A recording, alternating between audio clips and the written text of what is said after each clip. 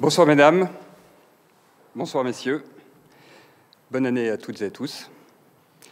Sur la proposition du Premier ministre chargé de la planification écologique et énergétique, le Président de la République a nommé M. Bruno Le Maire, ministre de l'économie, des finances et de la souveraineté industrielle et numérique.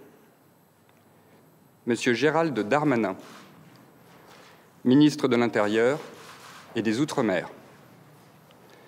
Madame Catherine Vautrin, ministre du Travail, de la Santé et des Solidarités.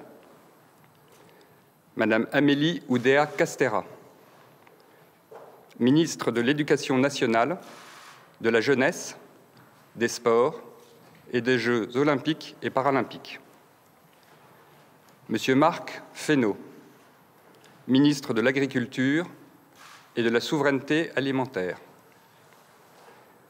Madame Rachida Dati, ministre de la Culture.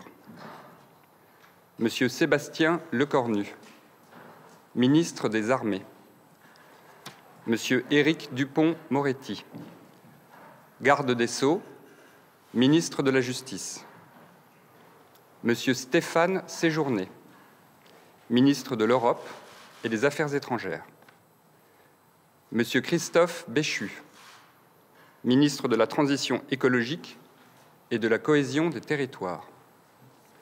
Madame Sylvie Retailleau, ministre de l'Enseignement supérieur et de la Recherche. Sont nommés ministres délégués auprès du Premier ministre Madame Priska Thévenot, chargée du renouveau démocratique, porte-parole du gouvernement. Madame Marie Lebec, chargée des relations avec le Parlement. Madame Aurore Berger, chargée de l'égalité entre les femmes et les hommes et de la lutte contre les discriminations. Le président de la République réunira l'ensemble des membres du gouvernement pour un Conseil des ministres qui se tiendra demain, vendredi 12 janvier, à 11 heures.